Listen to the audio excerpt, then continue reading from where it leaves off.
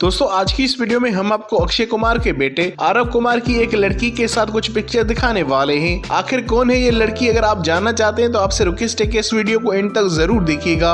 और अगर आपने हमारे चैनल को अभी तक सब्सक्राइब नहीं किया तो चैनल को कर दें सब्सक्राइब और बेल आइकन को प्रेस कर दें। और अगर आप अक्षय कुमार के फ़ैन है तो इस वीडियो को कर दें लाइक तो चलिए दोस्तों, वीडियो को शुरू करते हैं। दोस्तों, जैसे की आप सभी जानते हैं की अक्षय कुमार और टेकल खन्ना के बेटे आरव कुमार हमेशा ही मीडिया से दूर रहते हैं और वो सोशल मीडिया पर ज़्यादा एक्टिव नहीं दिखाई देते और न ही अपनी पिक्चर शेयर करते हैं। ऐसे में कल उनकी एक लड़की के साथ कुछ पिक्चर सामने आई हैं, जो सोशल मीडिया पर काफ़ी तेज़ी से वायरल हो रही हैं और हर कोई इस पिक्चर के बारे में बात कर रहा है। 20 साल के आरव कुमार के साथ ये लड़की कौन है, हर कोई इस बारे में जानना चाहता है। दोस्तों, हम आपको बता दें की आरव कुमार की ये पिक्चर अपनी कज़न नाओमिका के साथ कैप्चर की हुई है। नाओमिका ट्विकल खन्ना की सिस्टर रिंकी की बेटी है। रिंकी जब से मुंबई छोड़कर गई है, तभी से वो और उनकी बेटी मीडिया से दूर रहते हैं। वरना हमेशा ही उन्हें कहीं ना कहीं स्पॉट किया जाता था। और अब आरब कुमार और रोनोमिका की ये पिक्चर सोशल मीडिया पर सामने आई है, जिसमें दोनों बहुत ज़्यादा अच्छे लग रहे हैं और बहुत खुश दिखाई दे रहे हैं। दोस्तों, आपको ये पिक्चर देखकर कैसा लगा?